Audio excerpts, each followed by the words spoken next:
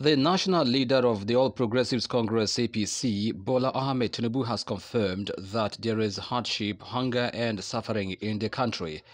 Tinubu, while addressing the Ekiti State Council of Obas, urged the monarchs to support him with prayers to become the president of the nation so that he could make necessary positive changes in the system.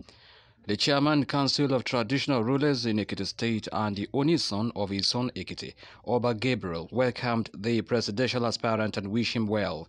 Chief Bola Tinubu also visited the palace of Ewi of Ado Ekiti, Oba Rufus Adeyemo, for special prayers. Describing Tinubu as one of the champions of democracy the country is enjoying today, the monarch said the aspirant is a man with large heart and in mentor. Who will fight for Nigeria? Who will fight for freedom? Who will struggle for development? Who will change our lives? There's insecurity. There's hopelessness. There's suffering. There's hunger. There's lack of education. Lack of development. It's not just talking of the airport in Egypt.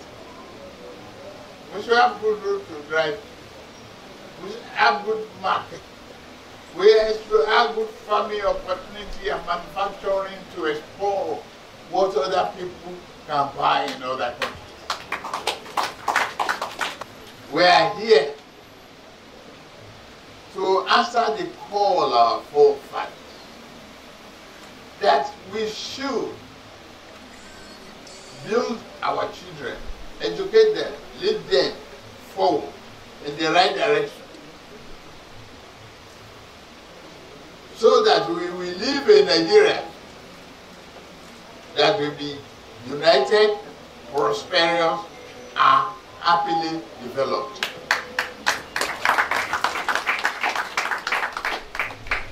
We are here to renew the hope